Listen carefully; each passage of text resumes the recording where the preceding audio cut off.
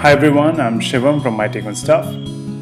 Uh, in this video, I will guide you how to use Gmail to send emails from custom domain email ID without setting up Google Apps.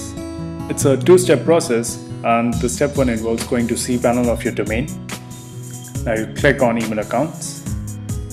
Now add the desired email account. This is followed by use um, and you can set up the custom account space if you want. It can be unlimited or it can be uh, 250 MB or 500 MB depending upon the server space you have. Uh, next is you go to uh, Access Webmail, add forward. Here you can add your personal Gmail ID. Uh, since I'm using Google Apps uh, for my take on stuff, I will use my uh, Google Apps ID. Uh, so this till now takes care of the step one process.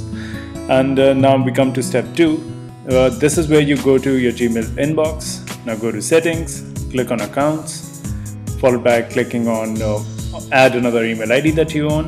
Uh, it's a fairly simple process now. Uh, you just have to follow the steps. Uh, Gmail will shoot a mail to your domain's email ID, uh, which we have, of course, already put a forward on. So it'll get pushed to your Gmail account or Google Apps account in my case. Wait, so I forgot to click verify, which I will now. Now you go to your Gmail inbox, Copy this code, go back to settings, enter the code, and voila, you're done. If you if you click on compose, uh, now you'll notice there's a drop-down menu under from uh, field that shows uh, your another email ID. Uh, you can add as many email IDs as you want.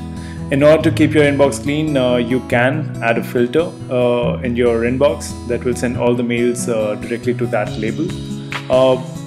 Again, fairly simple process. Go to settings, uh, click on filters, follow the steps. Uh, it's, it's quite simple.